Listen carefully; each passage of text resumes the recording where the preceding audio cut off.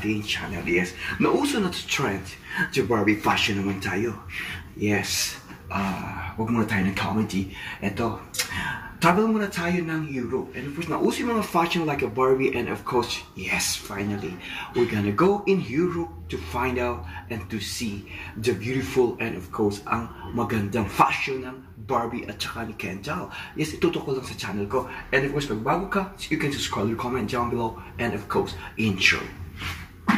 Now there's nowhere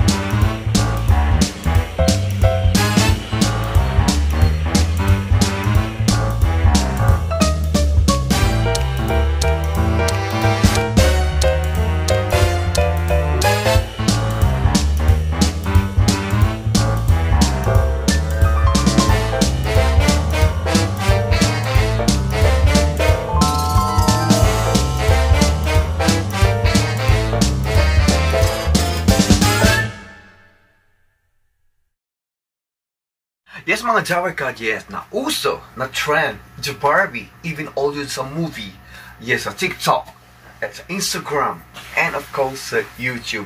So finally, we're gonna go find out, and of course, how we feel, and of course, we're gonna show you, we will show you the beautiful, and of course, the beautiful and the gorgeous fashion of the Barbie and Kendall in Europe. Siyempre, pag sinasabing European, Europe andyan in Austria, France, Paris, Finland. Hindi tayo pupunta doon because this one is uh, the video is they share only my brother Michael Sam. So, let's find out at samahin niyo ko. Magandang gabi po sa inyong lahat.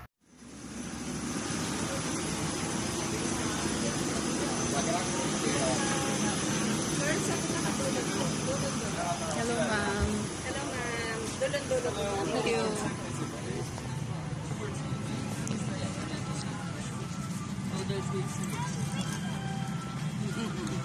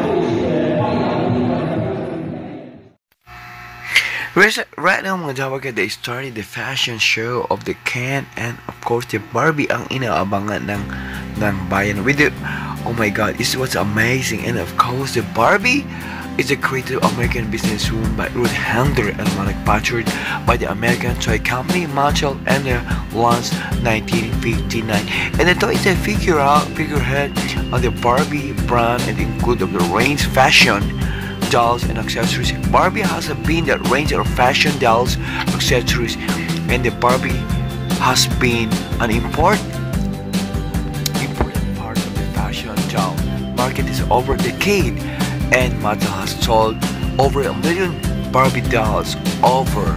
Wow.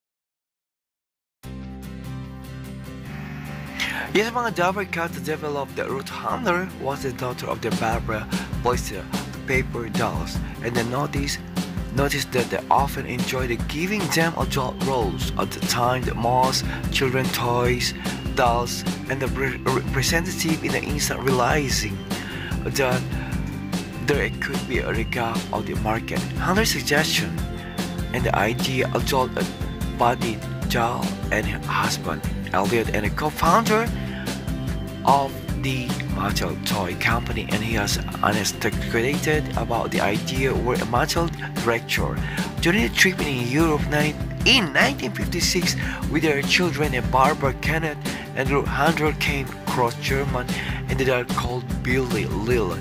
The adult figure wow was amazing. And of course what Handler in the mind of she purchased three of them. And she gave of the one the daughter to two other the back matter. And the Lilli doll was a base of the popular character bearing. And of course the sacrificial comic strip drawn the rain hard and between of the paper. And the Lilli doll and of course sold in Germany in 1954 wow. And although the initially sold out the adult it became the popular. Children and enjoy dressing her up in an outfit that were available in separately. Upon the retain in the United States, the Hunter designed the doll with help the local inventor and design by Jack Ryan, and the doll with a given a name Barbie, and the Hunter, the daughter Barbara, and the doll made the, uh, made the debut American International Toy Fair in New York March 9, 9, 1959. This is the date of the of Barbie in official wow birthday. And my Dabber got the first Barbie doll is a black and white super strip and a swimsuit signature and a top knot ponytail and was available in either blonde or brunette. And the doll was marketed in a teenage fashion model.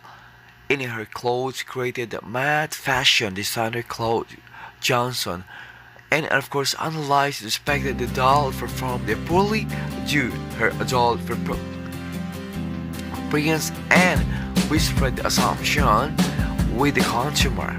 For Francis at the time, Ruth Handler believed the importance of the Barbie's adult appearance, but early market research showed some parents really unhappy about the about the doll chest with the distinct breasts and of course the Barbie sold about 350,000 units in the first year beating market expectation and generating upset risk in investor.